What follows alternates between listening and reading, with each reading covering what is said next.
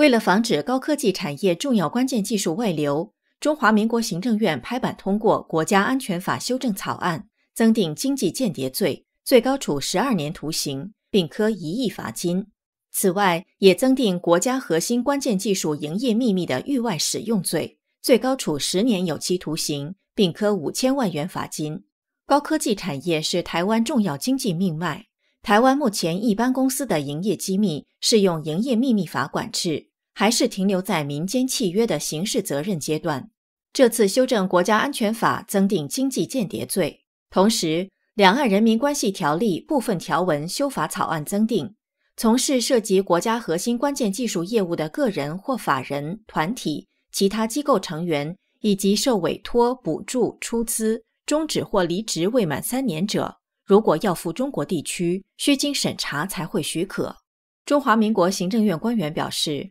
近年来红色供应链渗透台湾产业情形越来越严重，大量吸收台湾高科技人才，窃取国家核心关键技术，并刻意规避台湾法律规范。未经许可在台从事业务活动，或者假借他人名义违法来台投资等情形，对台湾资讯安全、经济利益、产业竞争力与国家安全等造成相当危害。台湾是一个民主法治国家，我们只能依法行政、依法办事。如果法律不定的清楚明确来执行，那么你纵然怀疑抓到经济犯罪，你没办法处罚。呃从事国家核心技术的个人或团体成员，如果他结束委托或离职未满三年，如果要去中国大陆，需要先通报并经过审查才可以出去。这一点我觉得很重要，要关注。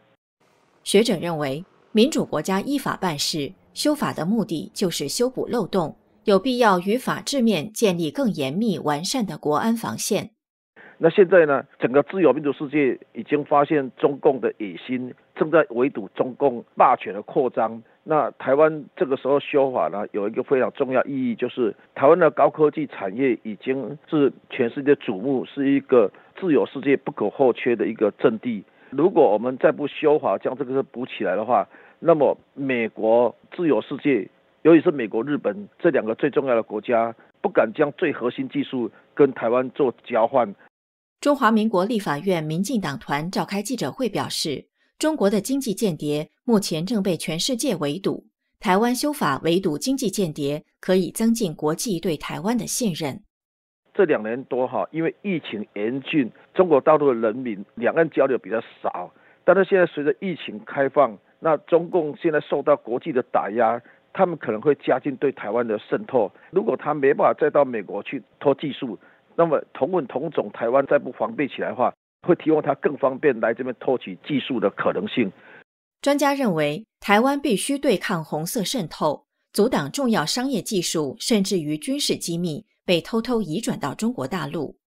台湾是半导体产业供应链的全球重镇，那么台湾的人才、技术、设备有很多来自美国，订单市场也都是美国跟台湾之间算是技术合作伙伴的关系。所以美国不希望看到啊一些美国的技术移转到台湾之后又被移转到中国大陆去，因为现在美国跟中国是对抗的关系，所以美国希望台湾这边严肃对待红色渗透这件事，透过立法的升级来架阻台湾内部有人拿商业机密来谋取个人利益。台湾官员表示，这次修法只是一个母法的修正，未来的施行细则还有哪些产业需要纳管？后续将增订细项。